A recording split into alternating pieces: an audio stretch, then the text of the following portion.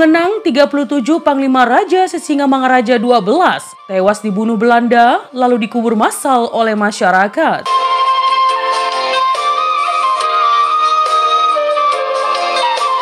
Ya, mengenal 37 Panglima Raja Sisingamangaraja 12 tewas dibunuh Belanda lalu dikubur massal oleh masyarakat Humbahas, Kecamatan Tabintang yang luas 22.997 dengan jumlah penduduk 8.408 jiwa.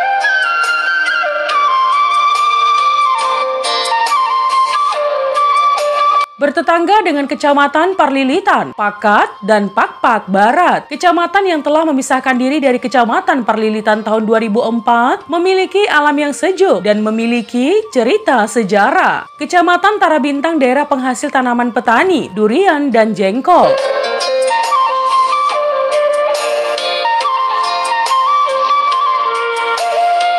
Dari pantauan wartawan, makam Panglima perlu diberitakan dan semoga bermanfaat bagi generasi mendatang. Mungkin beberapa sana famili dari Panglima Raja Sisingamangaraja 12 tidak akan mengetahui dengan jelas di mana keluarga mereka yang dulu ikut mendukung Raja Sisingamangaraja 12 pada saat melawan penjajahan Belanda di tanah Tapanuli.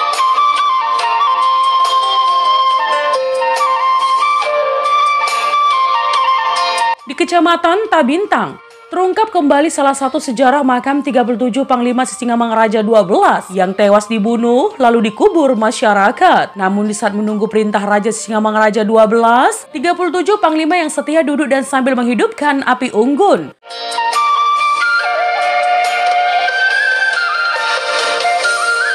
Tiba-tiba pasukan Belanda datang dan bertemu, lalu menembaki 37 Panglima Raja Sisingamangaraja 12.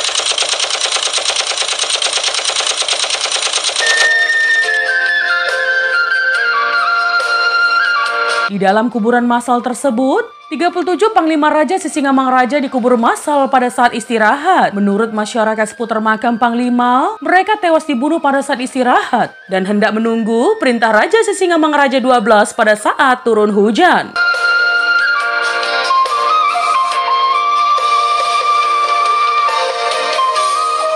Nah teman, inilah nama-nama 37 Panglima Raja Sisingamangaraja 12 yang tewas dibunuh Belanda. Yang pertama, Manase Simorangkir, komandan perang yang berasal dari Tarutung. Yang kedua, Pangulima Jongka yang berasal dari Aceh. Yang ketiga, Rior Purba yang berasal dari Bakara. Yang keempat, Jomel yang mungkin berasal dari Pakpak.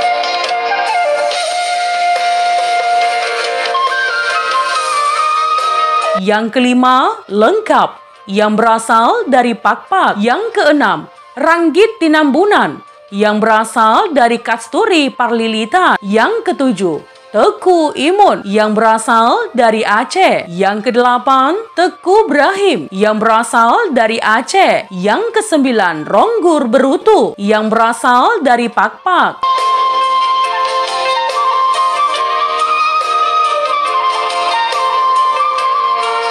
Yang kesepuluh, Rakit Sikedang yang berasal dari Gayor, Aceh. Yang ke-11, Renteng Manik yang berasal dari Pakpak. Yang ke-12, Sumpat Capa yang berasal dari Pakpak. Yang ke-13, Haposan yang diduga berasal dari Pusuk Parlilitan. Yang ke-14, Ikut Maha yang berasal dari Simbara Parlilitan.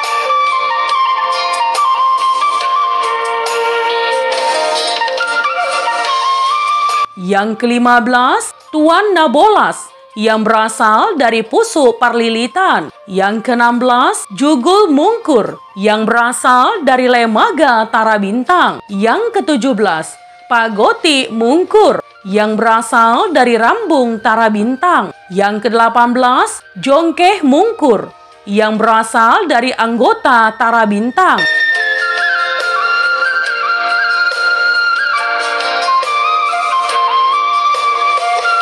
Yang ke-19, Cuba Sihotang yang berasal dari Huta Imbau Tarabintang. Yang ke-20, Dukut Sihotang yang berasal dari Huta Imbau Tarabintang. Yang ke-21, Kutur Nahampun yang berasal dari Lembaga Tarabintang. Yang ke-22, Tiba yang berasal dari Toba.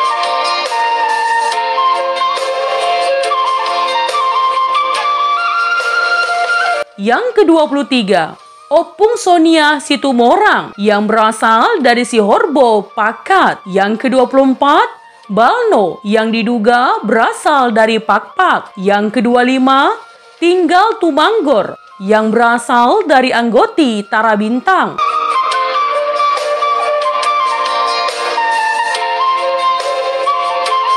Yang ke-26, Mangantar Sitohang yang berasal dari Lembaga Tara Bintang. Yang ke-27, Jangkil Mungkur yang berasal dari Anggoci Tara Bintang. Namun 10 orang lagi yang dikubur di makam itu tidak diketahui nama-namanya teman. Ada beberapa dari mereka yang tewas karena melompati jurang Aik Rambe. Ya, keterangan ini diterima dari keturunan almarhum Londer Situmorang yang lahir dari Huta Imbau, cucu dari putri Pak Jarod Sihotang.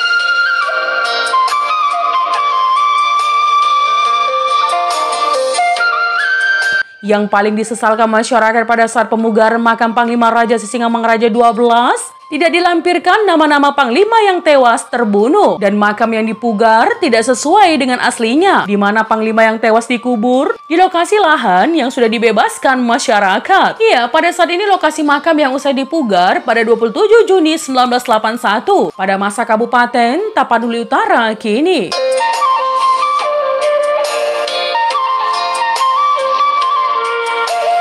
Bagai bangunan tidak mengandung sejarah, semoga dengan kembali dijelaskan teman untuk diketahui masyarakat dan pemerintah agar nantinya sejarah perjuangan Raja Sisingamangaraja 12 tidak terlupakan bagi generasi mendatang yang berada di Desa Tarabintang.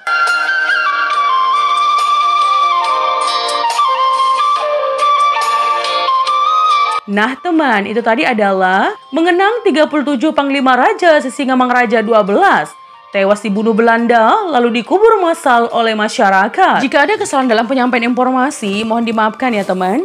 Untuk kritik dan saran yang membangun, langsung saja tinggalkan di kolom komentar. Menjadi bijak, menjadi cermat itu penting. Terima kasih teman.